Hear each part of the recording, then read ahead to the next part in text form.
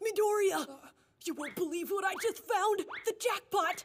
Someone Shawshanked a hole in this wall. A previous generation has given us a gift. You know what's next door, right? This looks into the girls' locker room. I want to see Yaoyorozu's curves, Ashido's slender waist, Hagakure's floating underwear, Uraraka's superfine body, Asui's unexpectedly soft boobies! For a frog, you've got some pretty big boobs, Tsu. Perfect floaties.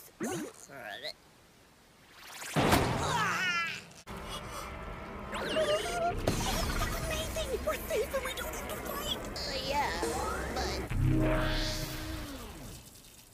I have a real bad feeling about this, Midoriya. Netta, are those balls your hair or what? I don't get it. My I didn't get a haircut. balls? She wants to know everything about my balls! I'll spill my secrets! Comes in their swimsuits! It's our duty to support our classmates! Faster, hurry up! Paradise is waiting on the other side of this door! There you are, Slowpoke. Hope yet! There will definitely still be girls splashing around the water! I can't wait to see those skimpy suits! Oh, hey, I'm Mineta. I didn't know you guys would be here. I can't believe there's not a single bikini foiled again. You know, school suits are still pretty hot. Have some standards, dude.